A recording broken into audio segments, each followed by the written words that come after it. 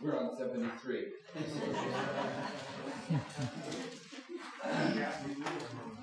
if you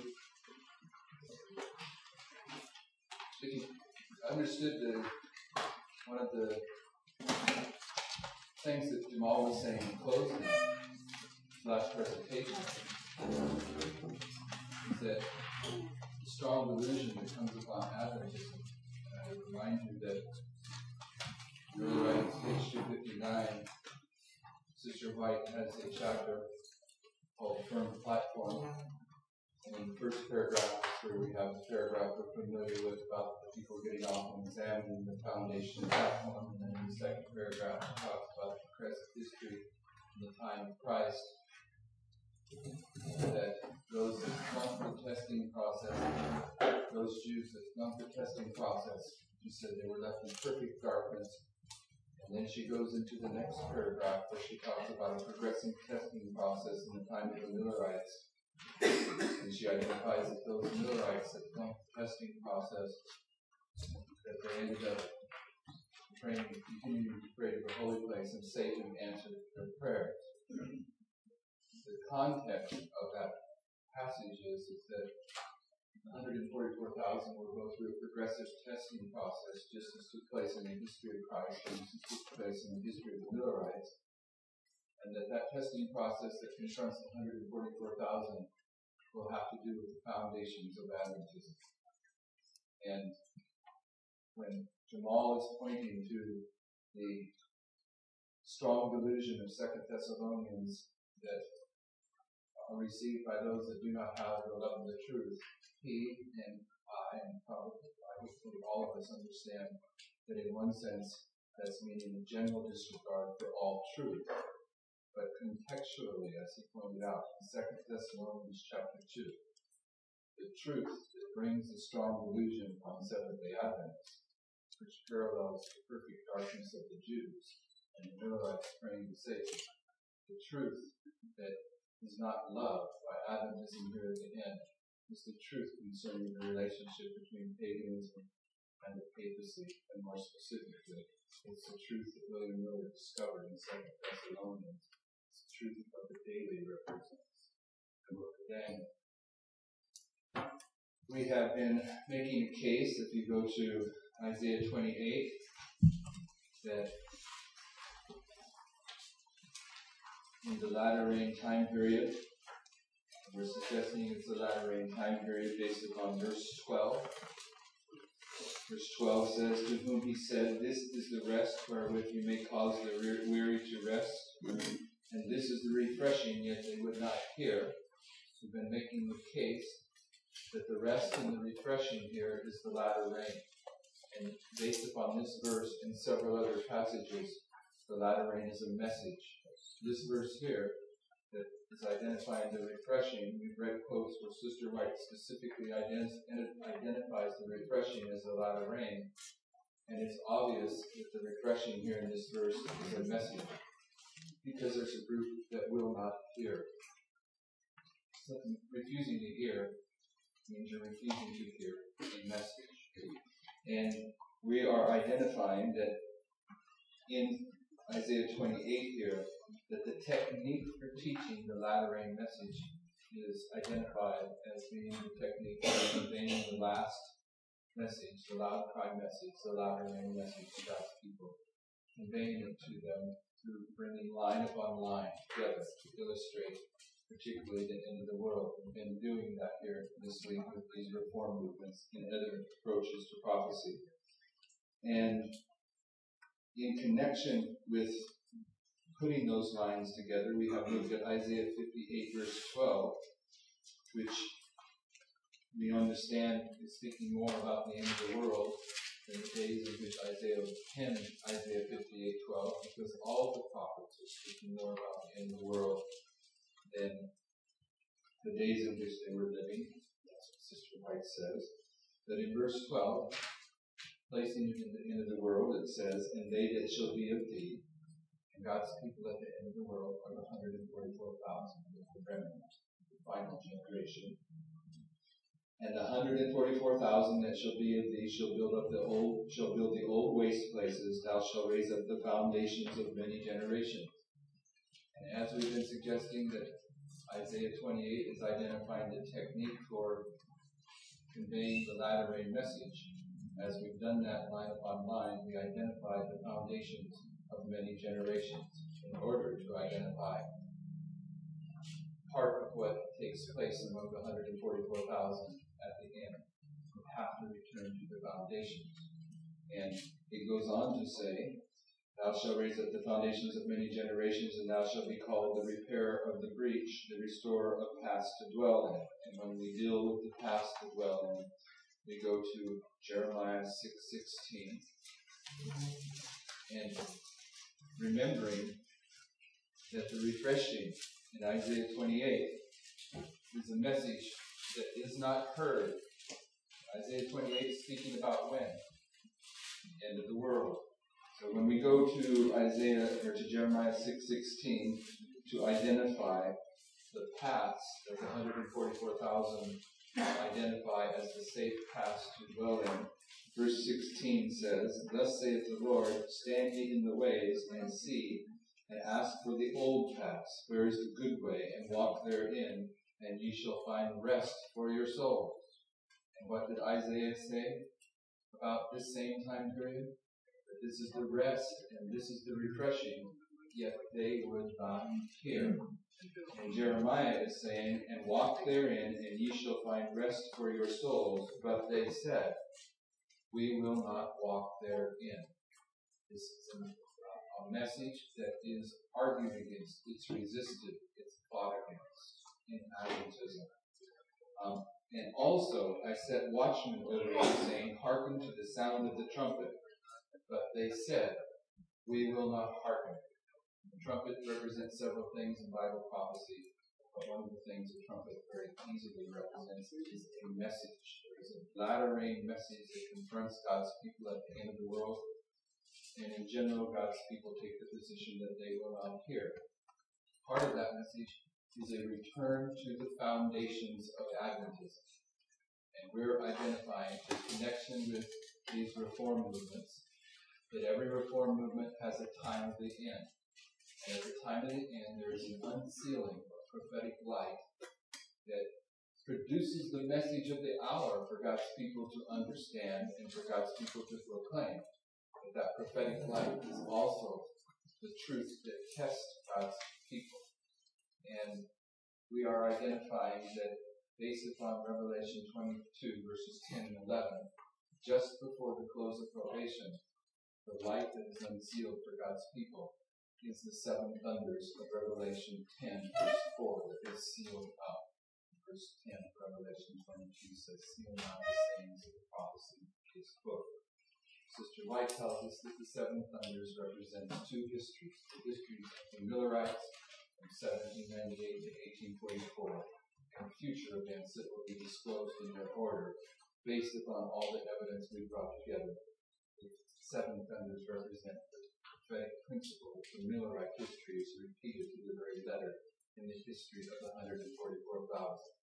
And part of what took place in the Millerite history is that William Miller was used to establish the foundations of Adventism, just like the foundations are always established in the beginning part of these reform movements. The foundations that are established for the 144,000 are the return to the foundations of Adventism. And the way that they are established is that God unseals the seven thunders. And when God's people recognize that the seven thunders represented the history of the Millerites, then God's people have, in the past several years, returned to the history of the Millerites to re-educate themselves upon the foundations of Adventism. They returned to the old paths, and once they got there, they realized there's a wonderful blessing in really understanding these lights but at the same time they realize that there are voices in Adventism that cry out, we will not walk therein. And in defending the pioneer positions, we have identified that the foundational truths that are the platform and the foundation are the truths that are represented on this and this chart. I had a question from a brother um, here today, I believe, uh, maybe last night, and he he asked, he, says, Sister White says of the 1850 chart, she says, I saw that God was in the publishment of the chart by Brother Nichols, and I saw that there is a prophecy of this chart in the Bible. The brother came to me and he asked, Well, where is the prophecy of this chart in the Bible? Because we know that this 1843 chart was brought about from Habakkuk 2 and Ezekiel 12. And what I pointed out to the brother is that this chart and this chart are the same chart.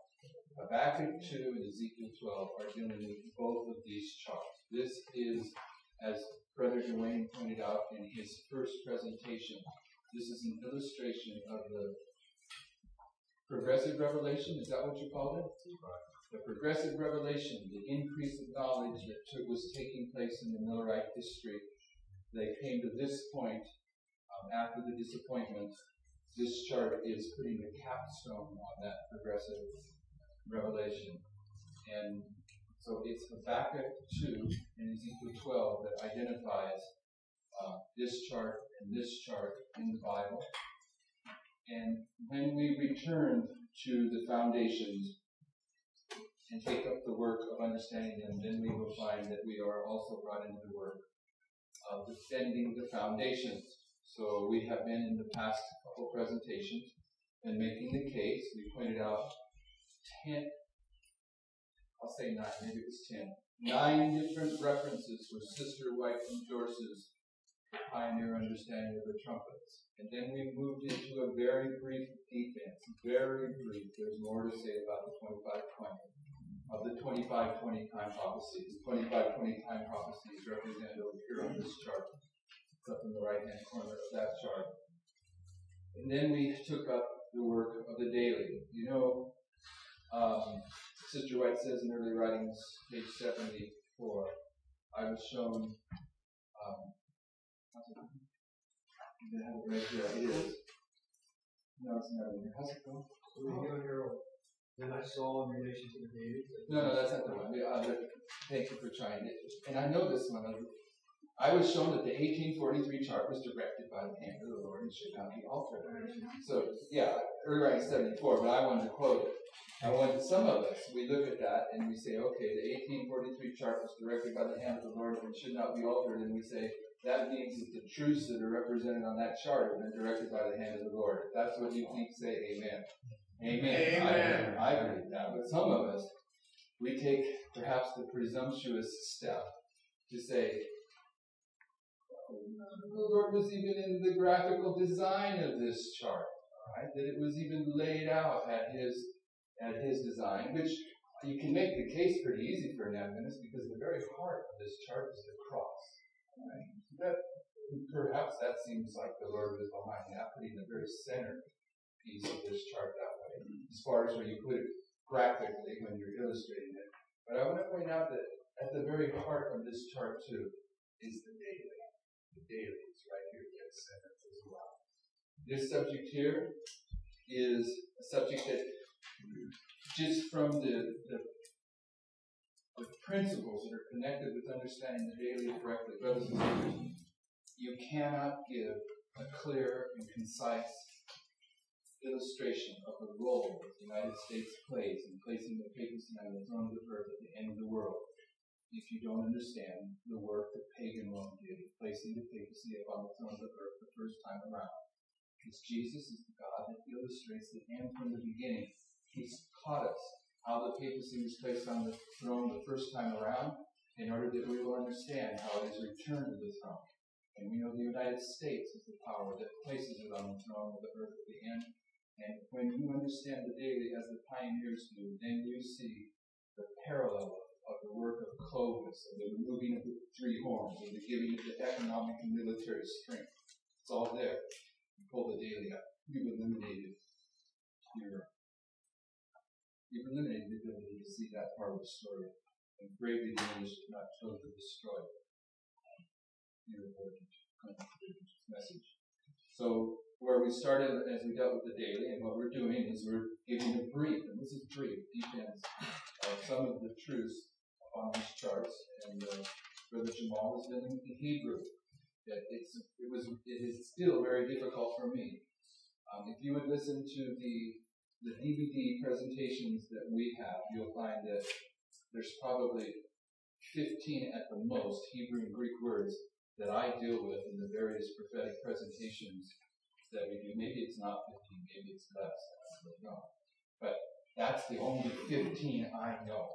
I only know them because they impact certain parts of prophecy that I have been forced to come to understand and defend. It's not like I'm a Hebrew scholar, so when I approach um, Rum and Sur and Kodesh and Mikdash and Chazon and Mare, I'm just like you. It takes a, takes a little while to get those things straight in my head. It doesn't seem that way perhaps when you hear someone such as Jamal and I speaking about it, but you need to remember Jamal and I are speaking about these things on a regular basis.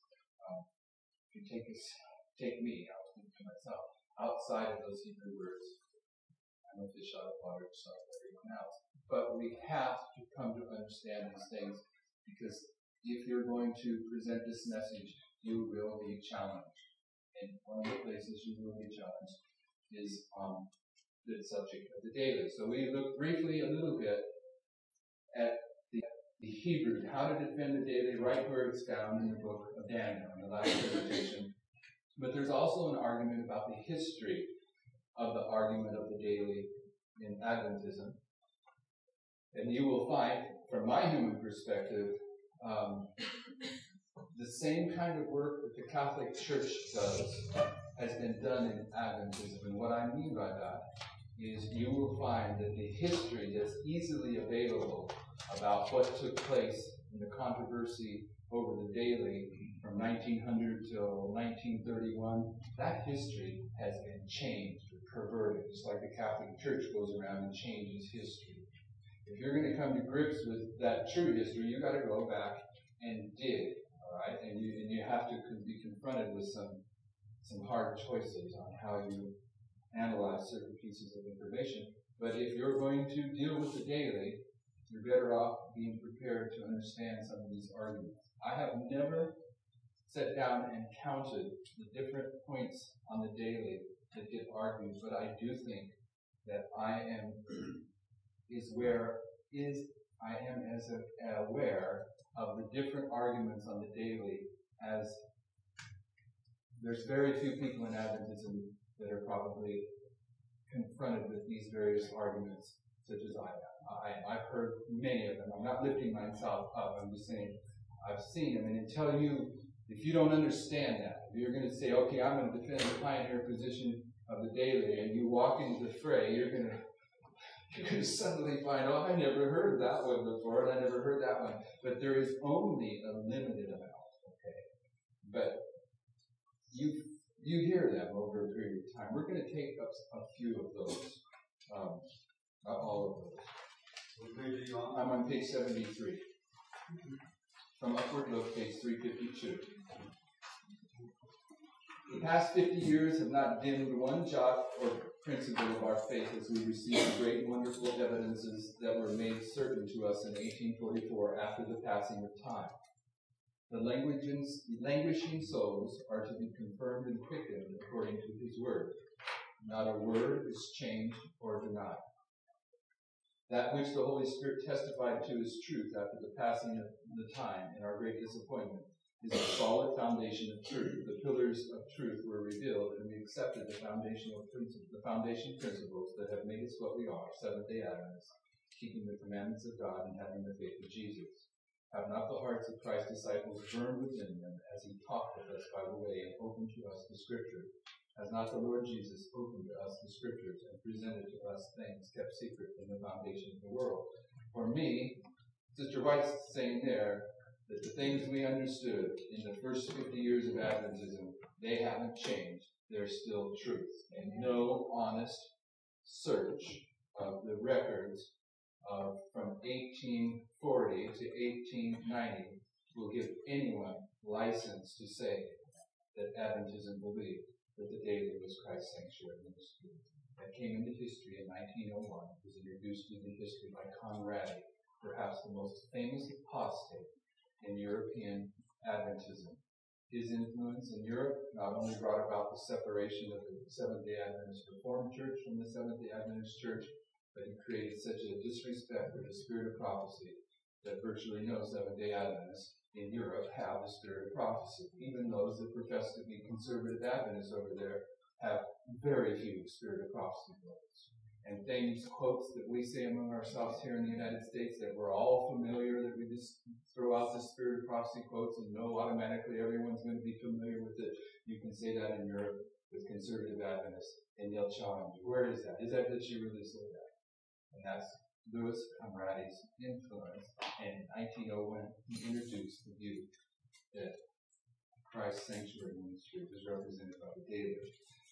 Um, next quote we've, we've looked at quite a bit. This is from early writings.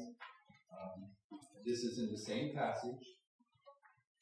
The paragraph before, she said that this chart over here was directed by the hand of the Lord and should not be altered. And in the next paragraph, she said, then I saw in relation to the daily that the word sacrifice was supplied by human, by man's wisdom and does not belong to the text, and that the Lord gave the correct view of it to those who gave the judgment hour cry.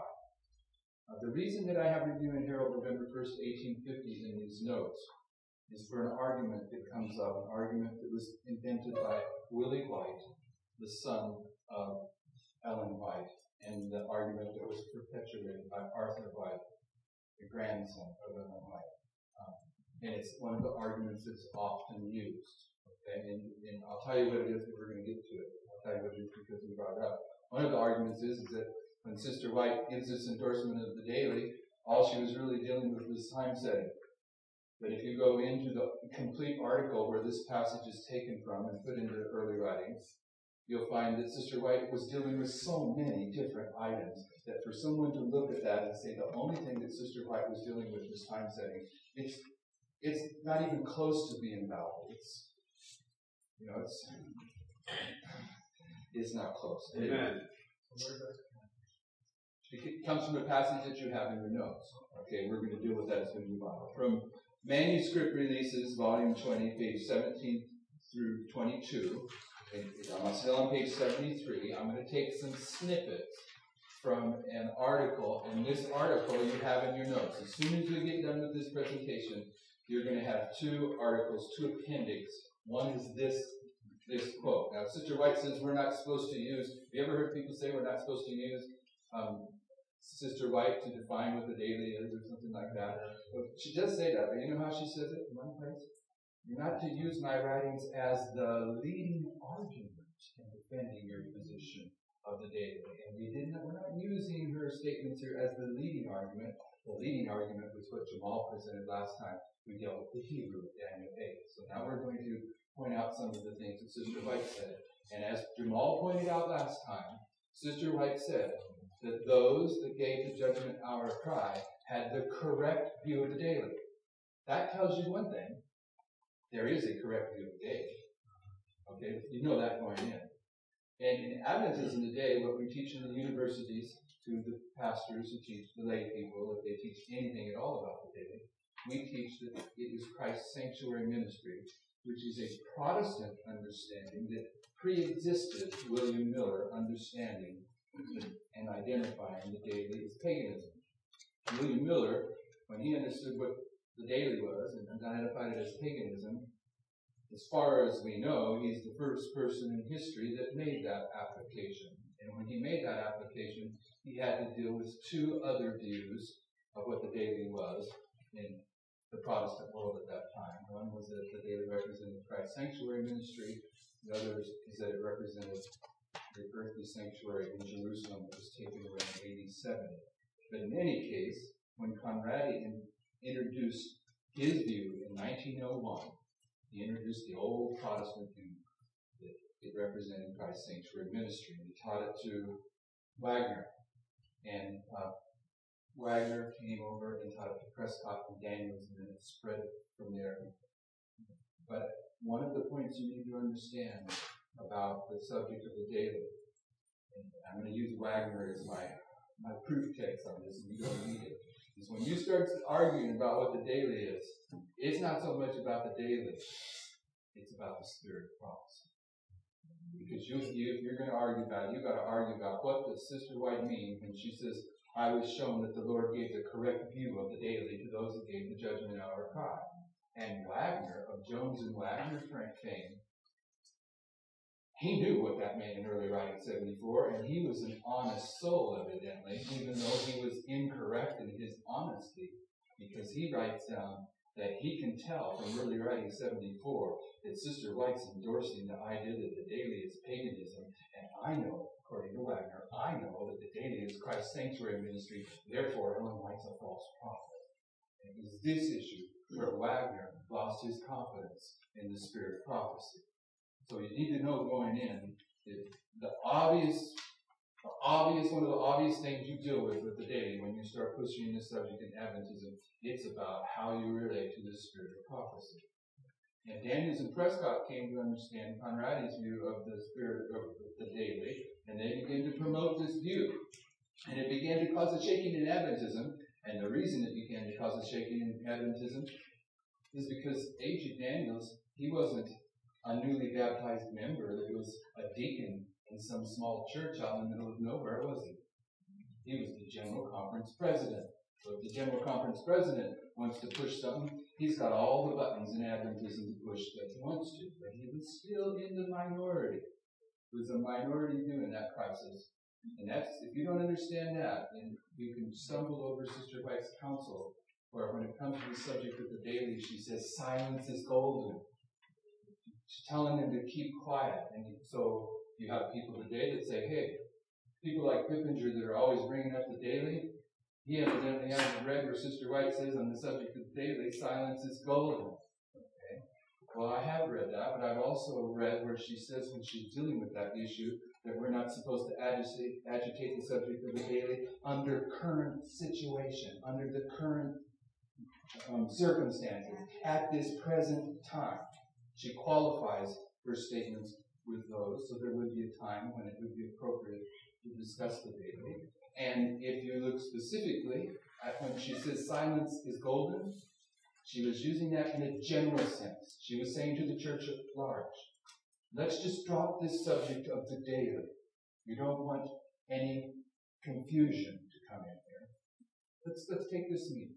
Let's say um, there's someone here it's pushing the concept of God's holy name. Okay? The message of the hour is that we have to say Yahshua and Yahweh. Heard that perhaps in Adventism. And as those that are leading out in this, this meeting, uh, I look specifically at John. He's the one that's pushing this false concept in this little scenario. And I tell John, you need to be quiet. But in a general sense, I tell everyone else, drop the subject. Don't give, don't give John any opportunity to promote this, and don't be talking about it when you stop. We're going to be here for a week. Let's not let this subject sidetrack what the Lord's trying to do here. And that's how you can relate to her counsel if you look at it correctly, I believe. Amen. Is when she's talking about silence is golden concerning the daily, and I'm not pointing any fingers at John. John does not believe that. Uh, um, you look at when she's talking, makes a statement such as silence is golden, and if you can look, look up the original uh, sources, she's talking to Daniells and Prescott. She's specifically telling them, you need to keep your mouth shut. But she's telling the church at large, let's not allow this subject to be simmering, okay? So there comes a point in all this where she does write a manuscript about Daniells and Prescott and it gets buried away. It doesn't come to light in Adventism until the time period that they start printing the books called manuscript releases. And I, I think those started getting published in the 1980s, 1990s. By the 1980s and 1990s, we've already fully drank the wine of modern, the modern view of the daily, so it's a dead issue. But in this manuscript, you'll see some of the excerpts here that we're going to read of what Sister White says about Daniel and Prescott's view of the daily, and it is documented that Daniel and Prescott's view of the daily is that it represented Christ's sanctuary ministry. So although Sister White is not to be the uh, leading argument on the subject of the daily. She says, on one hand, that those that gave the judgment hour cry had the correct view of the daily, and then she dealt with the counterpoint that the daily represents Christ's sanctuary ministry, and she said things like this. And there was brothers Daniells, whose mind the enemy was working, and your mind and Elder Prescott's mind were being worked by the angels that were expelled from heaven. And I was shown from the first. She wasn't shown long after the crisis and argument started. She was shown, she was probably shown before Conradi even opened his mouth. She was shown from the first that the Lord had neither given Elder Daniells nor Prescott the burden of this work. Amen. Notice what she calls their work. Should Satan's wiles be brought in? Should this daily be such a great matter as to be brought in to confuse minds and hinder the advancement of the work at this important period of time? It should not, whatever it may be. I have been instructed that the work of the Lord, that the work of the Lord resting upon the president is the most solemn responsibility. You had no moral right to blaze out as you did upon the subject of the daily and suppose your influence would decide the question. Amen. The Lord will have to see in you a showing of difference experience, for if ever men needed to be reconverted at this present time, it is elders Daniells and Prescott. And those who are hungry and thirsting after something new were advancing ideas so specious, specious, that Elder Prescott was in danger. Elder Daniells was in great danger of becoming wrapped in the delusion that if these sentiments could be spoken everywhere, it would be as a new world. Yes, it would. But while their minds were thus absorbed, I was shown that brothers Daniells and Prescott were weaving into their experience sentiments of a spiritualistic appearance and drawing our people to beautiful sentiments that would deceive, if possible, the very elect. Mm. Mark that. She's talking about the daily. She's talking about the wrong view of the daily. And she's saying that the wrong view of the daily could deceive, if possible, the very elect. Sounds to me like she's saying that the wrong view of the daily brings strong delusion on those who don't love the Trinity of the daily. I've had to trace with my pen the fact that these brethren would see defects in their delusive ideas that would place the truth in an uncertainty, and yet they would stand out as if they had great spiritual discernment. Now I am to tell them that when I was shown this matter, when Elder Daniells was lifting up his voice like a trumpet in advocating his ideas of the daily, the after results were presented. Our people were becoming confused. Amen. I saw the result, and then there were given me cautions that if Elder Daniells, without respect to the outcome, should be thus thus be impressed and let himself believe he was under the inspiration of God, skepticism would be sown among our ranks everywhere, and we should be where Satan would carry his message messages. Set unbelief and skepticism would be sown in human minds, and strange crops of evil would take the place of truth. Brothers and sisters, Sister White may not have given us specific details about what it means to take away the daily and who the prince of the host is and what sanctuaries caught cats down. But she did say William Miller was correct in his view of the daily, and that those who believe in Christ's sanctuary ministry is the daily accepted that teaching from angels that were expelled from heaven. To say. Notice underneath some of the things that we looked out earlier, William Miller was the messenger himself. In, in Jamal's presentation, he never pointed out, that's fine, you can go back into that presentation, and there's a one-liner in there, boldface, that, that points back to an earlier thing that we had noted. William Miller was the type of Noah, the type of Moses, the type of Elijah, the type of John the Baptist.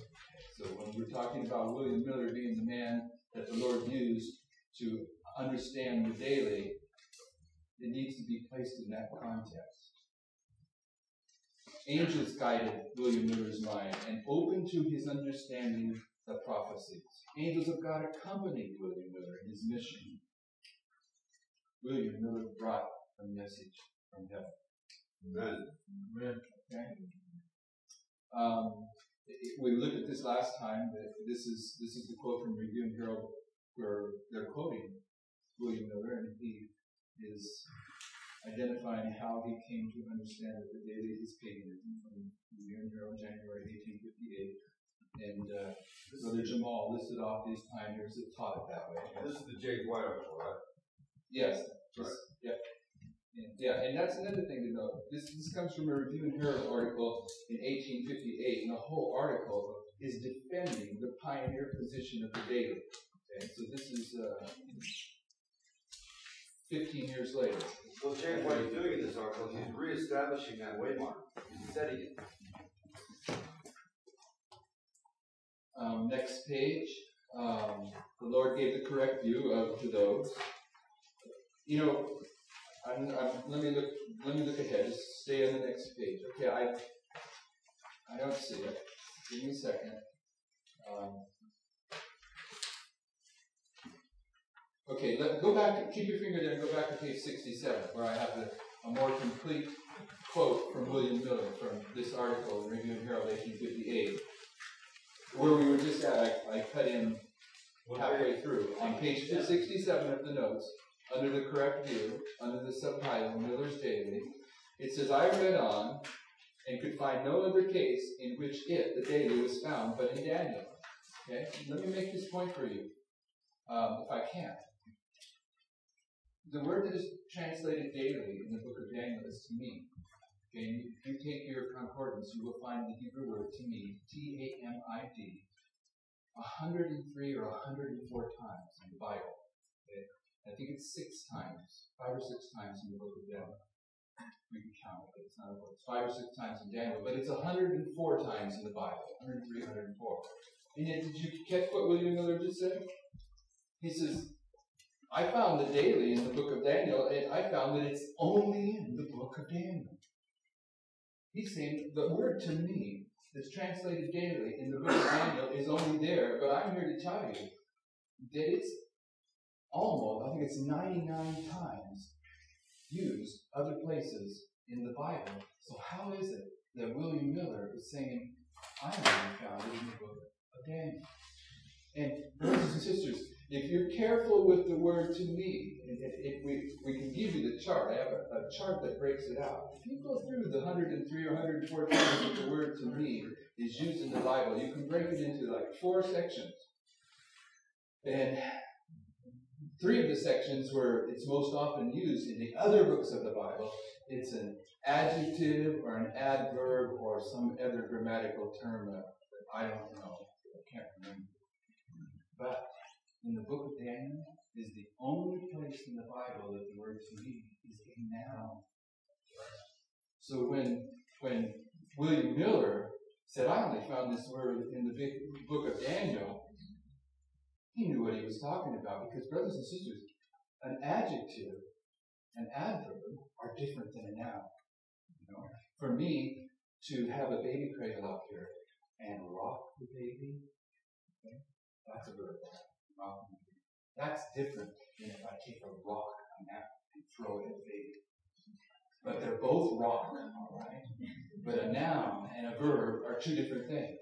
And it wasn't only William Miller that noted that. Sister White says it in early writings, page 74. She says, I saw that the word sacrifice in connection with the word daily was added by human wisdom and does not belong to the text. You know what that means? That means when the translators of the King James Bible were translating the book of Daniel, they came to the word to me and they go, why is Daniel using the word tamid as a noun? Everywhere else it's used in the Bible, it's a verb. Daniel, he must be making a mistake. So to make Daniel correct, what we're going to do is everywhere we see the word to me in the book of Daniel, we're going to put the word sacrifice with it because then it's changed to a verb. The sacrifice becomes the subject. Tamid becomes the adverb. Okay? So even the translators of the King James Bible give testimony that they recognize that the word daily in the book of Daniel is totally different than anywhere else in the Bible. That's to, a matter. they had to doctor up to make it fit, but Yeah. And there's only one of the added words in the Bible that Ellen White takes the time to inform us was added by human wisdom and does not belong to the text. It's the word sacrifice. Amen. Amen. So, in selected, ma- we're back on page seventy-three. Um, seventy-five. Checking. The true meaning.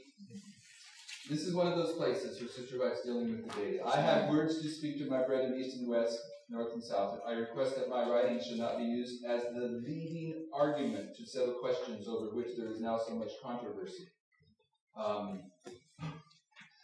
in the next paragraph, it has been presented to me that this subject, that this is not a subject of vital importance. I am instructed that our brethren are making a mistake in magnifying the importance of the differences, difference in the views that are held. I cannot consent that any of my writings shall be taken to settle, that settling this matter, the true meaning of the daily is not to be made a test question. I now ask that my ministering brethren shall not make use of my writings in their arguments regarding this question, for I have had no instruction on the point in the discussion, and so, and see no need for the controversy. Regarding this matter, silence is eloquence. Is that what she said? Regarding this matter, under present conditions, silence is eloquence. So, so how, how does someone like myself get around a statement like that? That this isn't of a vital importance. The way that you get around it, you don't have to get around it, is to understand that the message of the hour is the last six verses of Daniel 11. And in manuscript releases, um, volume, volume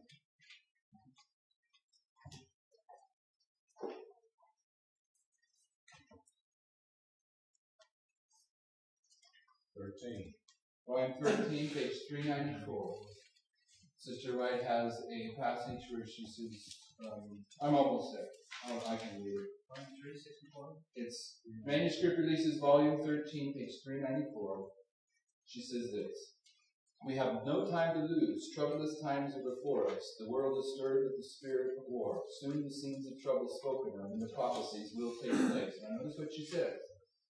The prophecy in the 11th of Daniel has nearly reached its complete fulfillment. And brothers and sisters, Daniel 11 verse 40 begins by saying, at the, and at the time of the end. That's verse 40. And at the time of the end. In Great Controversy, page 356, Sister White says the time of the end is 1798. So when Sister White's speaking about the future fulfillment of Daniel 11, she's not talking about the first 39 verses because she knew the first 39 verses came before verse 40, and verse 40 began at the time of the end, which was 1798, which was before she was prophet. When she's speaking about the future fulfillment of Daniel 11, she's talking about the rest of verse 40 all the way to the end. Okay, so this is she's not talking about verses 13 and 14. She says the prophecy in the 11th of Daniel has nearly reached its complete fulfillment. Much of the history that has taken place in fulfillment of this prophecy will be repeated. She's emphasizing something.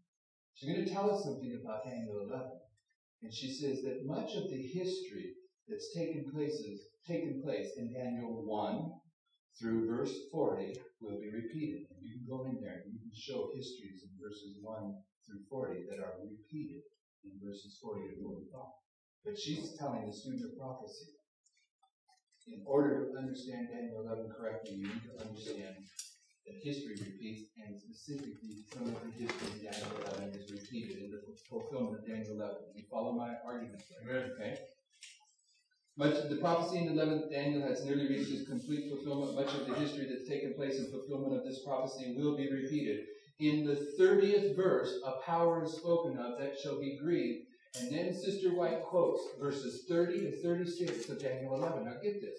She's talking about the future fulfillment of Daniel 11. In other words, the last six verses of Daniel 11. She says, what you need to understand about that future fulfillment is that history is going to be repeated, specifically history within Daniel 11. And then she quotes verses 30 to 36 of Daniel 11, and she says, then she says, scenes similar to those described in these words, verses 30 to 36, will take place. And Daniel 11, 31, which is one of those scenes that's going to be repeated, you have the daily taken away.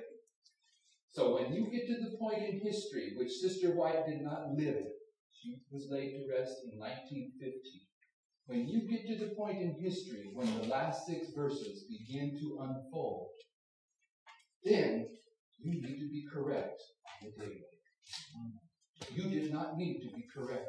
You did not need to cause a shaking and a division within the Adventist church in the early part of the 20th century concerning the daily, because it was simply truth at that time. But there comes a point in time when the daily changes from truth to present truth, because it's one of the historical representations that illustrates the last six verses of that. That's how you get around those kind of statements, and you have the license to do so because she says under present conditions. Now, um, next quote. Um, I have no light about time setting. The advocates of the, this is Arthur White from his six volumes of Advent history. And I- those are good volumes. I don't have, I'm not trying to badmouth those books or Arthur White.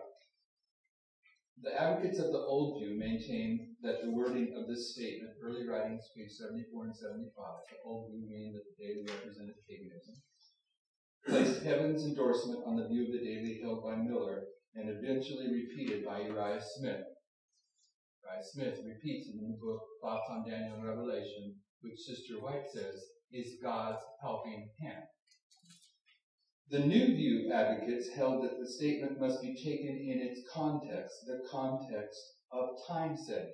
In other words, Arthur White here, if you look at it closely, he's repeating his father's position. His father took a position like this. Since this passage in early writings is simply dealing with the phenomenon of time setting that was taking place by those Adventists that had rejected that the midnight cry was of the Lord. They were in the Millerite movement, but after October 22nd, 1844, they looked back at their experience and they said, this isn't of the Lord. And they begin to take those time prophecies that they've been dealing with and they begin to reapply them to try to correct their error. And that was, that was one of the things that she was dealing with in early writing 74 and 75. But to suggest that that is the only thing that she's dealing with in early writing 74 and 75, it's just absurd. If, if, if a, an English teacher gave you the article where that statement was made and handed out and told you, you go through and you do a breakdown on this, and you tell me the different subjects that are addressed here, what's the theme of this, and you turn in the paper and said, well, all this person here is talking about is time setting, you're going to get an F, we'll show you why. Because we counted the different subjects she specifically addresses in this article. So anyway, Arthur White here is simply echoing his father's view. Ellen White's repeated statements that I have no light on the point, and I'm unable to define clearly the points that are questioned, and her inability to make a definite statement when the question was urged upon her seem to support their conclusion. But let me throw something in here. Sister White did make those statements about she had no light on the point, and I'm unable to clearly define these points. If you go back into the history, the person that was pushing these questions at her was A.G. Daniells. He wanted his answers, okay? But A.G. Daniells has put it into the record what he was asking her. You can read his statements. And if you go to Daniel 8, I never remember these off the top of my head, but if I look at them, I can. What A.G. Daniells was asking her, according to him, I think we have this in the notes, but I want to at least point it out here about these references of Ellen White's on this subject have just been made. Daniel was asking her in verse 11, who's the prince of the host? And what was taken away? And what's the place of his sanctuary? And what was cast down? Okay, he was asking him all these peripheral questions around the daily. And Sister White says, I have no light on this subject.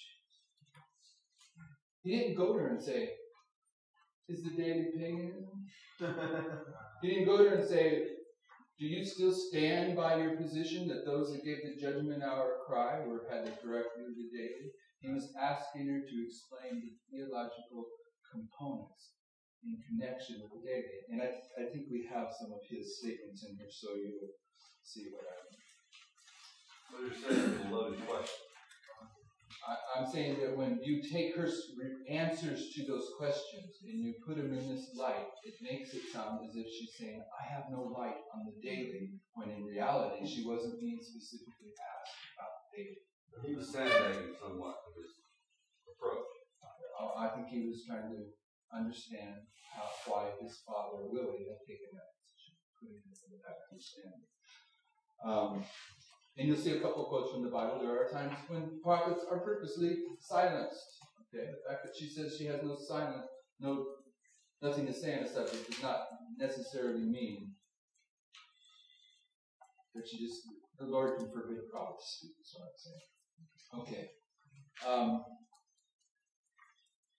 Bottom of the page, study of context important. This is one of the arguments that was first brought in by Willie White's. Concerning this whole matter, W.C. White, after spending a day or two studying it through carefully, on June 1st, 1910, wrote Edson, taking the position that the context of the statement must be considered. The context of the statement, where she says that those that gave the judgment hour cry had a correct view of daily. It is evident from the vision of September 23rd, 1850, as published in Early Writings, New Editions, page 74, under the title The Gathering Time, was given to correct the prevalent error of time setting and to check the fanatical doctrines being taught regarding the return of Christ. Now, brothers and sisters, um, if you draw back, just I'm going to point it out to you. If you go to page 80, you see appendix to the notes. And it starts in the bottom of page 80. It goes all the way to the middle of page 83. And this is the article that Willie White says it's obvious that all she's speaking about is the phenomenon of time setting. This is all she's being shown. The subject of time setting. And therefore, we must consider her statement about the daily in that context. It's not about that they had the correct view that the daily was paganism. It had to do that the time they arrived at was correct and we needed to correct, correct, resetting time. If you read this article on your own time, I'll point it out to you, you'll see that Sister White deals with she you can see just by looking at the boldface the first paragraph she was shown in vision i was shown i saw i saw the next paragraph i saw next paragraph i was pointed back then i was shown the next paragraph on the next page i was enraptured with the sight two paragraphs down i also saw, and if you go read those she saw different subjects every time she sees a whole variety of subjects. Uh, whether you look at ties to the messengers, and you just you read through it. And for someone to read this article and say that it's obvious that all Sister White was dealing with here is the subject of time setting. I guess if you turn that analysis of that paper into an English teacher, you're going to be yeah. Um, back to page 76. I'm sure I'm running out of time. I didn't look where I started. Do the, the people running the camera have a time check? We're running sixty minutes. How long? Fifty-six minutes. 56 minutes. Sixty. 66 minutes. I'm already six minutes over. Okay. Oh, yeah, So, I, on page 76, we can wrap this up quickly perhaps. One of the arguments that comes up, I'm moving to a new argument. One argument I put in, place, and you can check it out for yourself, is the argument that all she's dealing with in early writing 74 is it has to do with time setting. It's a foolish argument, It doesn't carry any weight, it's not valid. No matter who put their endorsement on, even the prophet's son, grandson. Um, the the Crosier article, shortly after um, the disappointment, Crosier came out with an article, and Sister White recommended it to every saint. It was printed, it was reprinted because it was recommended to every saint. Her husband James White reprinted that article, I think, three more times. Right? Came out. Sister White read it. She says, I recommend this article to every saint. In that article, Crosier presents the old positive view of the daily. But the reason that Sister White is recommending that to every saint is because he's got the first real clear view of Christ moving from the holy place to the most holy place, which God's saints need to understand immediately after October 22nd, 1844. As James White prints these, he prints the first one right away just as it is. But then, when it's time to reprint because those are gone, he removes the false concept of the daily. Okay? So when you come down to our day and age, you will be confronted with the argument, look, it's Crosier printed the false view of the daily in a document that Sister White says, I recommend to every saint. So your first, you're, you have some information here. One of the things you need to remember is that um, if you're going to take that position, which no historian in Adventism has taken until maybe the past 10 or 15 years, all the historians that wrote about this will tell you that because of the circumstances, James White just reprinted this article and got it out because the prophet said, get it out. But then when he had time to do editorial work on it, he removed the false concept of the daily, and the next two times he printed it that year, it didn't have it in it. So they will tell you that that, that was that James White was opposing the prophet. They'll, come up with a lot of crazy ideas like that. But you know what the Lord did for us is in that original document. Crosier also had the false view of the millennium. He believed there was going to be a thousand years of peace. The age to come. The age to come, so it was called during that time period. And if those people are going to insist that, that Sister White was putting her endorsement on that first article in order to uphold the false view of the daily, then those brethren need to be willing to accept the age to come doctrine as well. It's obvious, no historian in Adventism has accepted that reasoning up until the past 15 or 20 years. It's obvious that James White just put that message out so God's people could see the first written presentation on what took place when Christ moved from the holy to the most holy place. And it's only an argument that's been publicly raised here recently, and it doesn't hold water. As soon as he had time to do editorial work on it, he took that false view out. So is this article contained, or is this the original?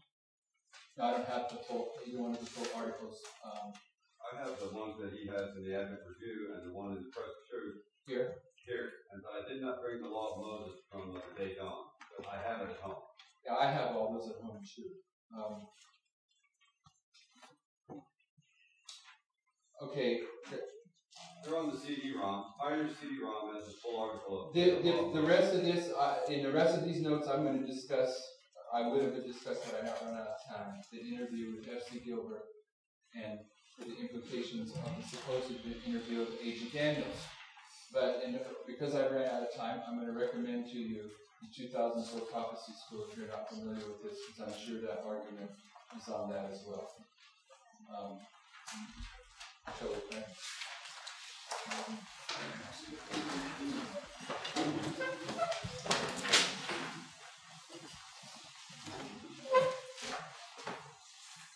Heavenly Father, we, we wish to understand this history where this controversy is taking place correctly, that we know how to give an answer. We need you to those in Adventism that aren't understanding uh, this history and the subject of the daily. But from my personal experience, understanding the daily and its, its implications and its Hebrew is, a, is one of the trickiest parts of the prophetic message that you've given to us. I ask that you give us a, an extra major of discernment and wisdom um, as we do test these things and try to bring them into our understanding. But it is clear to see from the prophetic word that this is an important subject, that we do want to be correct on this subject, and we do want to stand upon the foundation and the platform that you erected during the history of the OS. It's clear this was part of that foundation and platform, so promise faithful to that. And stand there, uh, be all the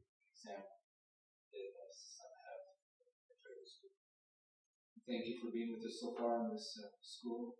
And uh, I think that we're breaking for lunch at this time, so we ask a blessing upon the food that you've prepared for us.